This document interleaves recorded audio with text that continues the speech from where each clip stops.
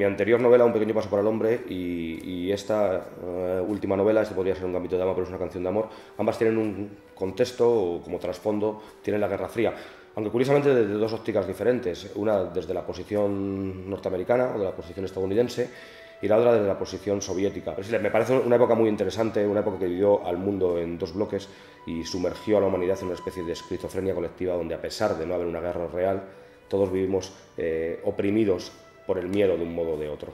Al final me interesan más las vidas de las personas normales. Es un poco el concepto que decía Unamuno o que le atraía a Unamuno que él denominaba intrahistoria, ¿no? donde la historia la conforman la vida de cada una de las personas individualmente y no los grandes titulares que se reflejan en los periódicos, ¿no? esas vidas comunes, esas vidas cotidianas de cada uno de nosotros son los que al final van construyendo la historia. La novela eh, ha entrado en una especie de vía muerta donde los escritores estamos obligados a buscar nuevas formas narrativas, quizá para contar lo mismo que ya se ha contado, que ya hemos contado con anterioridad. No podemos escribir como en el siglo XIX, en el siglo XIX no estaban las series de televisión, no existía el cine, no existía Internet, eh, no existían las redes sociales y creo que de algún modo todo eso ha de traducirse en una nueva forma de escribir, en una nueva narrativa, en una nueva forma de explorar la manera de contar historias, quizá para contar lo mismo que hemos contado siempre.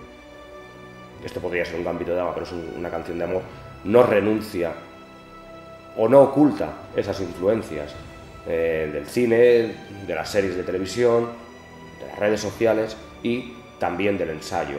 Creo que al final eh, es muy difícil hoy en día determinar dónde está la línea que divide un ensayo de una novela. ¿no?